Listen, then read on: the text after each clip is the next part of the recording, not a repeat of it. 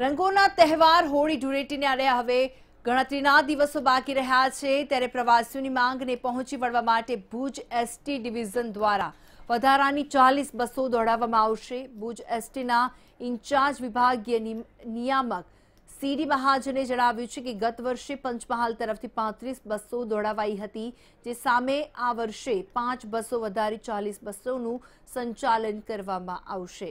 ગત વર્ષે ચાર પોઈન્ટ ત્રીસ લાખની આવક વધારાની સાથે બસોના ઓપરેશન થકી થઈ હતી, જેની સામે આ વખતે પાંચ લાખની આવક નિગમને થવાનો અંદાજ સેવાયો હતો.